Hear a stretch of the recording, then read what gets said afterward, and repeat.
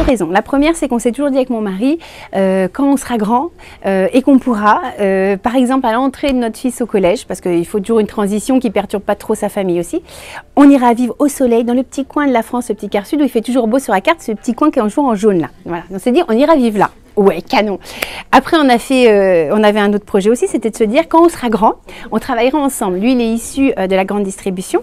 Moi, je suis issue de la décoration, du design, et on a toujours, euh, on s'est toujours dit, on mettra en, en, confrontation nos deux talents. On va, on va s'unir aussi dans professionnel pour justement travailler ensemble et puis faire ce qu'on sait mieux faire, quoi, chacun dans notre domaine.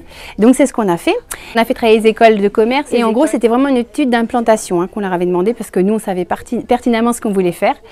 voilà on vous explique qui on va être, ce qu'on va proposer, notre offre, où doit-on aller. Et donc voilà, il, s'est avéré qu'ils ont dit Marseille. J'ai fait yes parce que moi je te rêvais de venir vivre à Marseille. Mon mari fait oh non, j'en ai marre. Lui voulait aller à Aix-en-Provence, mais tant pis. 2017, 2017, ouais. Et c'est allé très vite. On m'a appelé en disant Sophie, on a trouvé le bien qu'il vous fallait. C'est une vieille bâtisse qui raconte une histoire, un ancien passage à Marseille, qui a de l'âme et tout. C'est bon, je viens. On est visité. On n'est venu que deux fois à Marseille pour faire des visites. C'était le bon. On a signé. On a commencé les travaux le 15 juin et on nous a rendu le chantier euh, le 15 septembre. 15, euh, 17 octobre, on ouvrait. Alors, l'esprit de la boutique. En beaucoup, je vais essayer d'être humble, mais on dit que c'est un concept store parce que le concept, en fait, c'est moi. C'est en gros, vous connaissez Sophie Arjani et vous aimez euh, son style, sa patte, son univers coloré, etc. C'est ce que vous allez retrouver au magasin. C'est bon, ses conseils, ses bon, bonnes astuces. Il y a des produits un peu plus chers qui tirent la déco vers le haut et à côté, eh ben, il y a des produits moins chers aussi parce qu'on doit pouvoir se faire plaisir. C'est vraiment un juste équilibre de tout ça.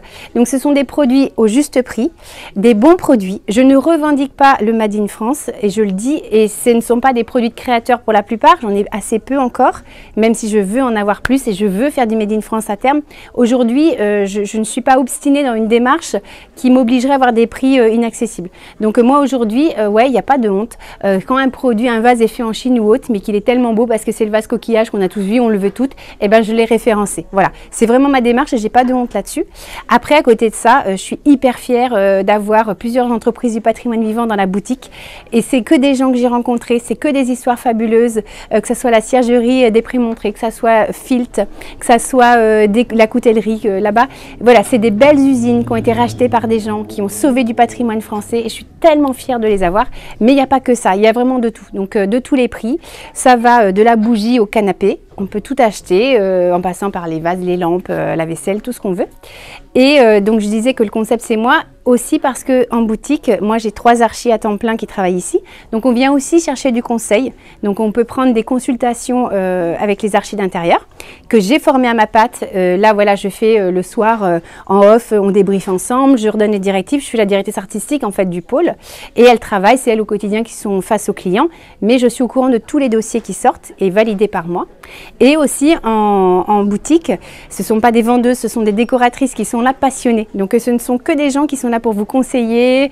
Euh, voilà, c'est vraiment ça le concept. Euh, et il y a aussi mes enfants souvent qui traînent ici parce que c'est un concept familial que j'ai développé avec mon mari et c'est avant tout une histoire de famille. Donc voilà, c'est un peu tout ça la sélection. On a recréé tous les sols, on a fait dessiner et fabriquer tous les meubles pour qu'on ait l'impression effectivement qu'on est euh, dans une vieille manufacture ou chez la grand-mère ou que voilà, on dit qu'on aurait ouvert des cloisons. c'est un peu ça comme disent les enfants et voilà. Et on retrouve des sols qui nous emmènent dans une salle de bain d'un côté vers l'entrée, la cuisine de l'autre. Parce que ces matériaux font partie de moi, de mon identité. Je suis quelqu'un de très authentique et j'aime la matière. Je pense que la décoration, avant tout, c'est une question d'émotion.